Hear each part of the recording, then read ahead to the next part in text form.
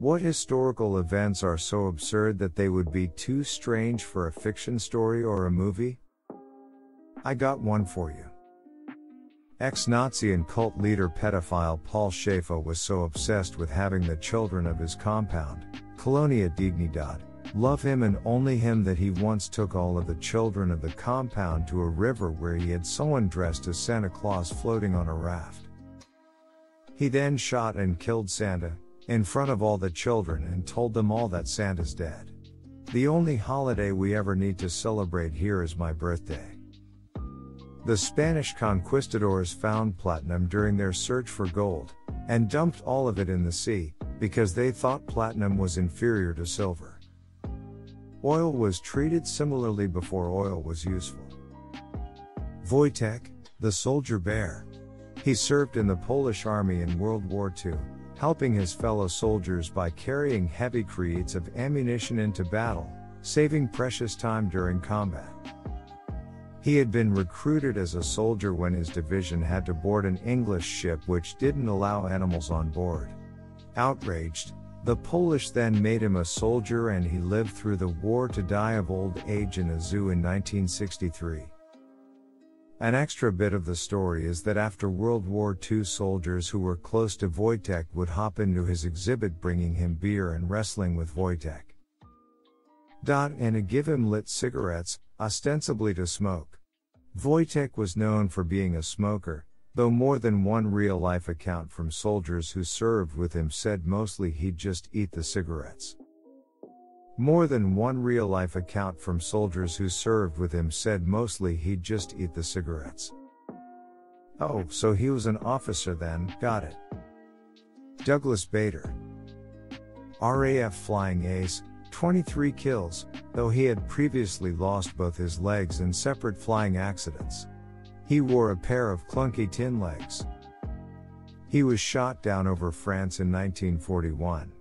The Luftwaffe were so pleased to have captured him they arranged for the RAF to drop a pair of his legs at a designated time and place, and cleared the sky for the drop to proceed. The RAF did indeed drop the legs as arranged, but since all German fighters in Ack had been stood down as arranged, it seemed a waste not to bomb a nearby enemy airfield. Meanwhile, Bader stumping about on his tin legs, was a great hit with his Nazi captors. At a great party held by the Luftwaffe in his honor, he drank them under the table, excused himself to a third floor bathroom, shinned down a drain pipe and stumped off into the darkness. He was only recaptured by a German spy in the resistance. For the next four years he continually escaped and was recaptured until he was finally sent to Colditz. After the war, there was a great spirit of reconciliation and togetherness between the air forces on both sides. Bader was not convinced. He was invited to address a crowd of assembled now ex Luftwaffe pilots and began his speech with the words, Seeing so many of you here today, I am struck by the single thought, I didn't kill enough of you bastards. One of 11 children born to Charles and Maria Sax, Adolf was an extremely accident prone youth who barely made it to adulthood. At three, he fell three floors down, bashing his head on the stone floor at the bottom. He drank a bowl of acidic water, believing it was milk. He swallowed and subsequently passed a large needle. He flew across his father's workshop and was burned badly when a barrel of gunpowder exploded. He fell upon a hot cast iron pan on a stove burning his side. He frequently slept in a room where varnished furniture was drying, somehow avoiding poisoning and asphyxiation. He was hit in the head with a slate roof tile while walking down the street. He fell in a river and nearly drowned. Then this same child, who some force was failing miserably to unalive, grew up and had the audacity to invent the saxophone. Battle of Karánsebes.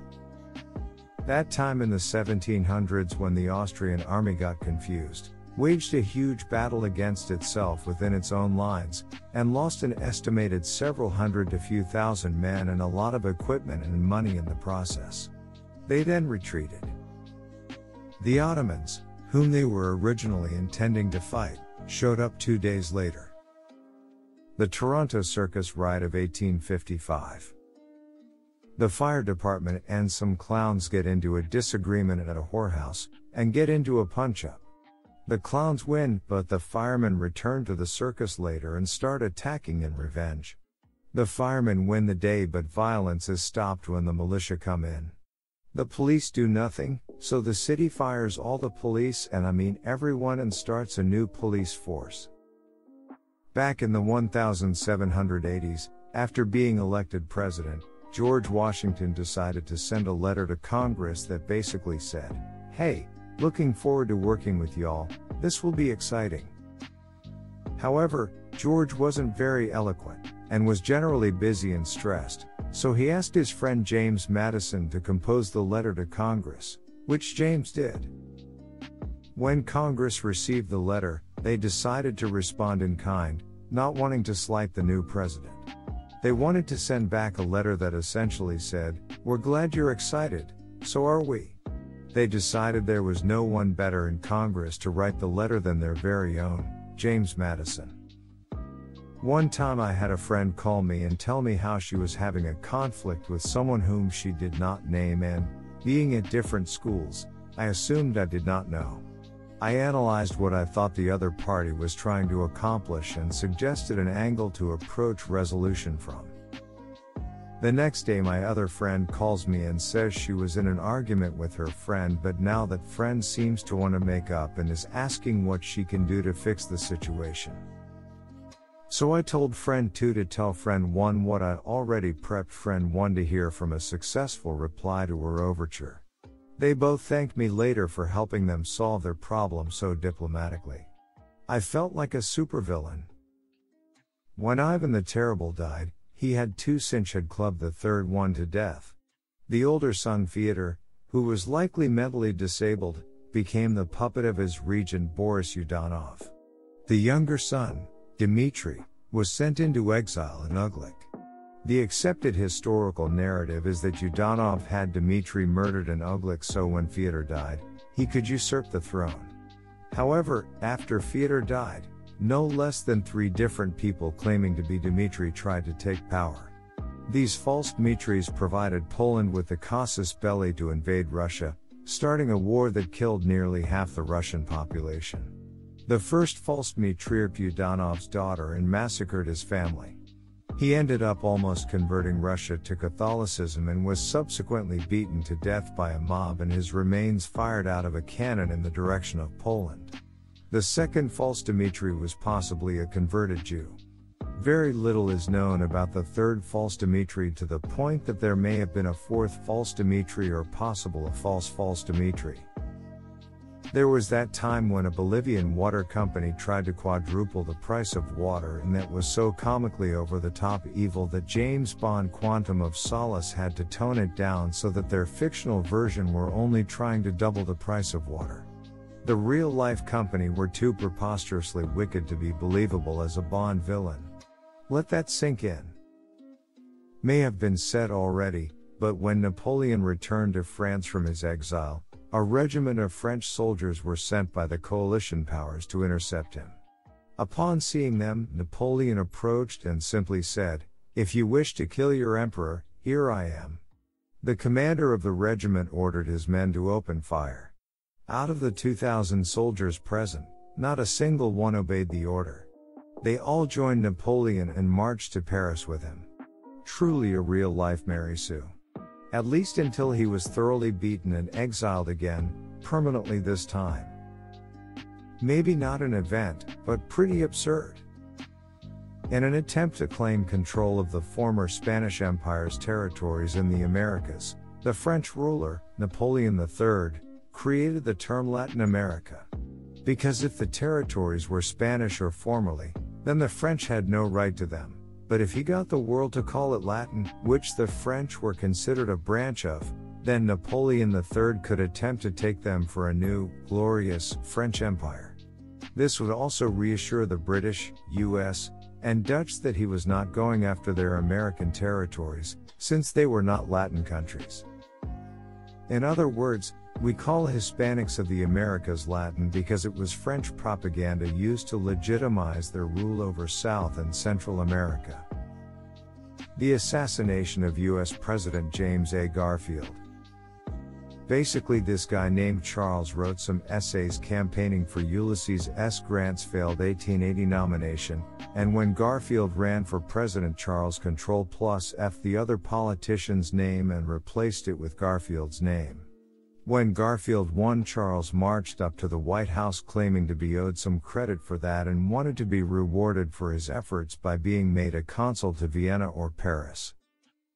He was told to scram and he was so mad that he decided then and there that he'd teach them a lesson by killing Garfield.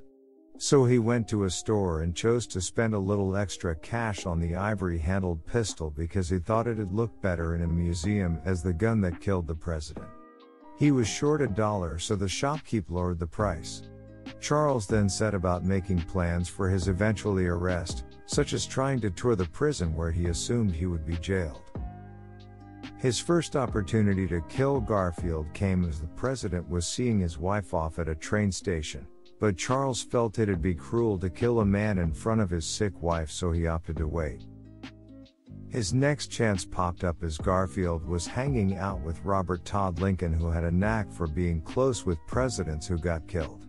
Charles walks up, fires, and was immediately arrested. Thankfully, Charles wasn't all bad, and as he was being loaded up, he handed the cop his gun, which the cop had forgotten to grab from him. Garfield was taken back home, and doctors dug around inside him with dirty fingers looking for the bullet. We'll come back to that. The Navy rigged up a makeshift air conditioner for Garfield to help with his fever, and they even called in a cameo from Alexander Graham Bell to make a metal detector to find the bullet but they didn't account for Garfield being on a metal framed bed or bother to check the side of his body where the bullet was lodged.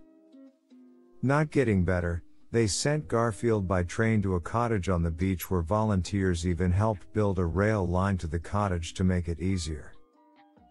Remember how they kept digging in the wound with dirty fingers and tools? Yeah, that got infected, and after nearly 80 days of misery, Garfield died. Modern doctors and historians believe he would have likely been fine if they'd just treated the wound and not worried about digging out the bullet, or at the very least been smarter about getting the bullet out. Charles sat in jail until his trial, where he insulted his lawyers, gave his testimony in the form of poetry, and passed notes to people in the audience asking for legal advice. He sang, he put out ads in the paper looking for a wife, and had plans to go on a speaking tour once he was found innocent. He wasn't. Charles was sentenced to death by hanging, danced his way up to the rope, and sang a song he wrote the orchestra he requested was denied. He was hanged and now part of his brain is on display in Philadelphia.